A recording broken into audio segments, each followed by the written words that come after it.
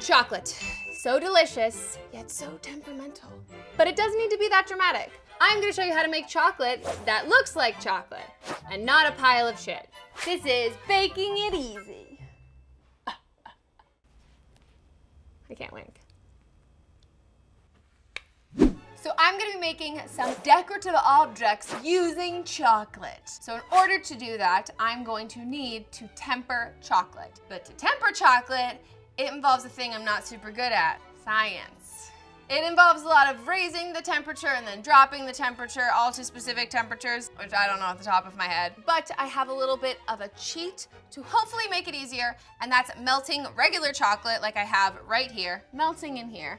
And once it drops down to a certain temperature, I'm going to add some pre-tempered chocolate to, you know, strongly encourage the regular chocolate to do what this chocolate is doing. But the final result yields a very nice, shiny, glossy chocolate that holds its shape, it snaps really well, and it's going to be used to make decorative things for cakes, cupcakes, all of that stuff. I'm gonna let this cool down. If you use it while it's too hot, it's not gonna hold its shape. Made a mess.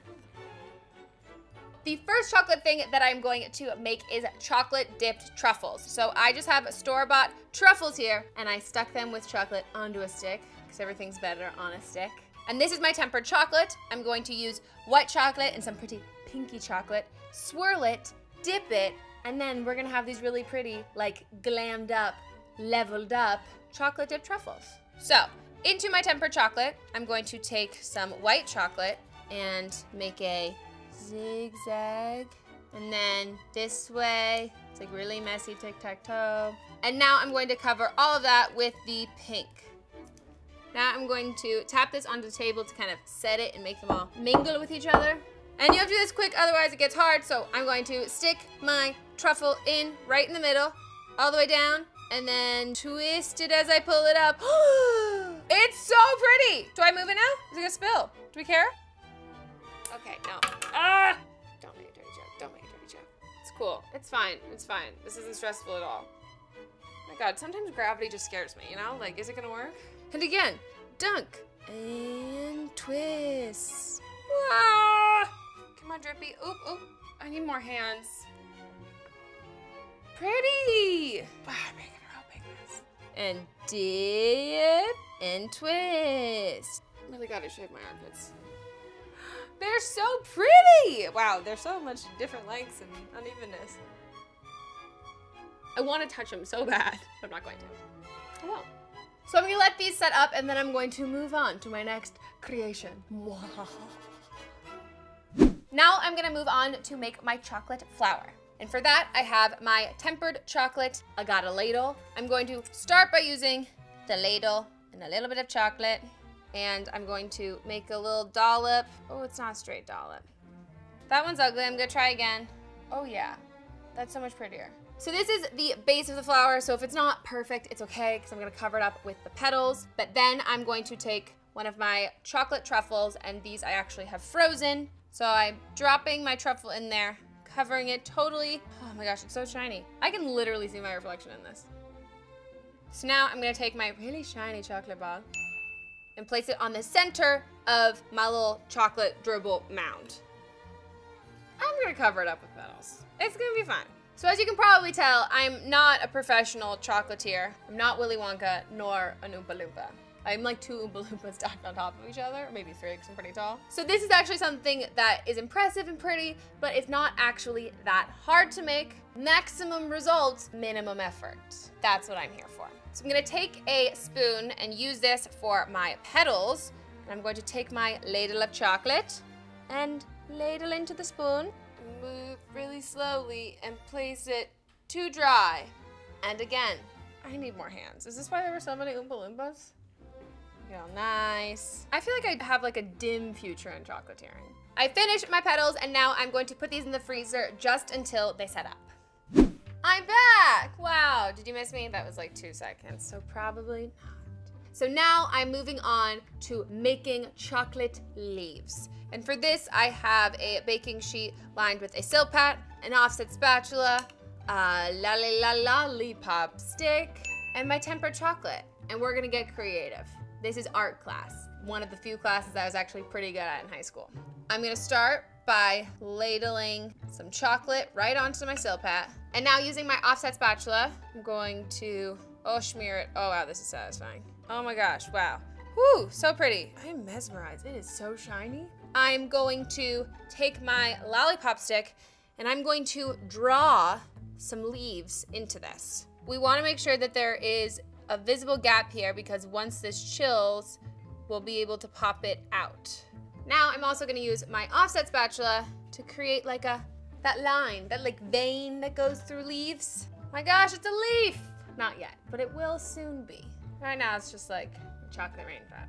So I'm making leaves because I'm using this with my flower, but really you can draw any shape that you want. Nice. Now that these are done, I'm going to pop them into the freezer to set up. So I've taken my spoons out of the freezer and now I'm going to assemble them all to go from spoons to a chocolate flower. So the first thing is starting with my base, which is this little dude. And then for my spoons to warm them and get them the chocolate off the spoon, I'm just gonna warm it up with my hand. Nice. And look, it's a little petal and it's shiny. Look at it. So I'm gonna use these petals and stick them to my truffle on its little pedestally plate. And I'm going to make them go all the way around and just more petals on the inside, on the outside, until eventually, so many petals, what do a ton of petals make? A flower. So to do that, I'm going to dip one side into some chocolate. So I'm going to put this right into the little crack in between the truffle and my pedestal. I'm gonna hold it there and if you are doing this in a place that's toasty, a little warm, a little hot, or you just want an excuse to use some really cold canned air, I'm going to spray this. How big is four inches? My God, science! Wow, I really would have paid attention in science if they made it with food, you know? You can go next. Dip in the chocolate. Sandwich on in. Freeze! You've been caught red-handed. Oh my god. Okay, yes, the chocolate's cool, but also this is really cool. I feel like this looks really great already. Can you even tell that they were spoons? Don't say yes. We're pretending you can't even tell they were spoons. It's like they were destined to be petals all along. Spoons have just been like, stop using me for soup. I have bigger dreams. And here we're fulfilling their dreams. Dip, dip, dip, dip, dip, dip, dip. Cute. My favorite thing. So now that my chocolate flower is done and all of my chocolate decorations are done, I'm going to use them to decorate a cake. Previously on Meghan Makes Chocolate, I made my beautiful flower, we've got my truffles on a stick, and my leaves. And finally, the cake that is really just the vehicle for my decorations. It's how I feel about like chips. It's a vehicle for guacamole. So I'm going to use buttercream to adhere stuff, but we're just gonna go crazy. I'm about to go buck wild.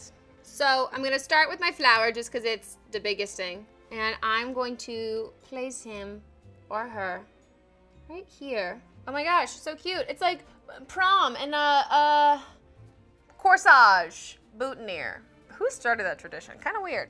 Now I'm going to add in some of my leaves. I'm gonna do some of my truffles. I'm just like picking my favorite child. And I'm going to put them in at different heights create some levels. Gonna use my piping bag. It's like a Dr. Seuss chocolate forest. Cute! Chocolate. This is it, my finished product. I officially have tempered chocolate. Go me. So the tips I remember when tempering chocolate, start with like a starter bit of tempered chocolate. That made it so much easier, way less of like the science. I mean, it's still science, but less science, which is still a better form of science because there's less of it. Another tip is making sure that we keep our chocolate cold. So whether that's putting it in the freezer to set up or using the canned condensed air, which is a party and very fun. I hope you guys try this out. It's so much easier than even I thought it was going to be. So let us know if you do and I'll see you guys next time. Bye.